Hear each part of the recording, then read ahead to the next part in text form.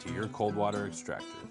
To set up the inline heater, connect the male QD of the Mytee Hot Turbo to the female QD on your extractor. Next, connect the male QD of the solution hose assembly to the female QD on the Mytee Hot Turbo. Now, turn your pump to the on position. Engage the trigger on your wand to dispense solution throughout the Mytee Hot Turbo until the water flow is sufficient. Turn the Mytee Hot Turbo switches to the on position.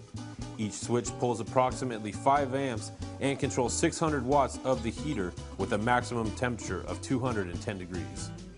Allow 5 to 10 minutes for the solution in the line to reach maximum heat.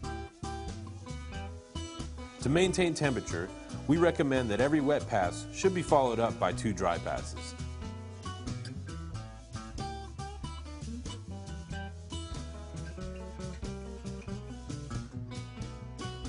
Get instant heat anywhere you go with the Mytee Hot Turbo.